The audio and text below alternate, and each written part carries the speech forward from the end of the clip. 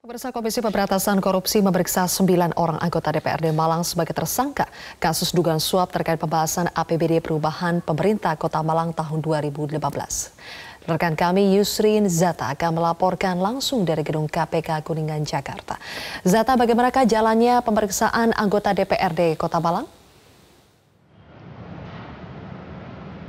Ya, Komisi Pemberantasan Korupsi kembali memeriksa sembilan anggota DPRD Kota Malang sebagai tersangka uh, terkait kasus uh, dugaan suap kasus pembahasan APBD perubahan pem pemerintah Kota Malang tahun 2015. Sembilan orang anggota tersebut adalah Khairul Amri, Sony Yudiarto, Harun Prasojo, Teguh Puji Wahyono, Eri Farida, Arif Hermanto, Teguh Mulyono, Suparno Hadiwibowo, dan juga Mulyanto. Belum ada pernyataan resmi dari Komisi Pemberantasan Korupsi terkait dengan apa sebenarnya detail dari pemeriksaan sembilan anggota tersangka hari ini.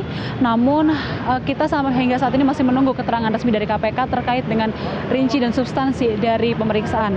Dan uh, dalam kasus ini KPK juga sudah menetapkan sebanyak 44 uh, anggota DPRD Kota Malang sebagai tersangka dan uh, mereka diduga menerima uang suap mulai dari sekitar 12,5 juta rupiah hingga 50 juta rupiah dari Anton yang merupakan wali kota Malang periode 2013-2018. Dan pemberian uang ini uh, merupakan agar uh, para anggota DPRD tersebut melakukan atau tidak melakukan sesuatu di antaranya yaitu agar mengesahkan APBD perubahan Kota Malang tahun 2015. Zilvia.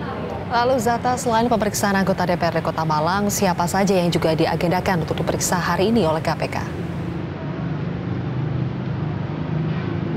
Ya, selain anggota DPRD Kota Malang, hari ini juga KPK eh, menjadwalkan pemeriksaan terkait kasus Meikarta yaitu terhadap Presiden Direktur PT Lipo Karawaci yaitu Ketut Budi Wijaya pada Senin 10 Eh, Desember 2018. Ketut rencananya akan diperiksa sebagai saksi dalam kasus dugaan suap pada proses perizinan proyek pembangunan Meikarta di Cikarang, Kabupaten Bekasi, Jawa Barat.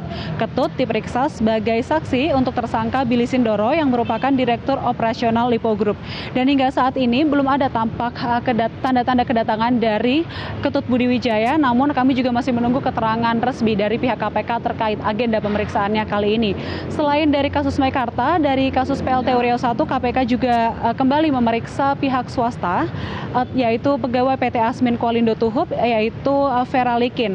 Vera dipanggil untuk tersangka uh, Idrus Marham dalam agenda pemeriksaannya kali ini dan merupakan uh, panggilan kedua untuk Vera setelah Senin pekan lalu ini Vera tidak uh, memenuhi panggilan KPK untuk diperiksa dan belum tampak juga kehadiran dari Vera Likin uh, pada hari Senin ini dan kami juga masih menunggu keterangan resmi dari pihak KPK untuk detail dari agenda pemeriksaannya. Demikian yang dapat kami laporkan, Zilvia. Baik, Yusrin Zata melaporkan langsung dari Gedung KPK Jakarta.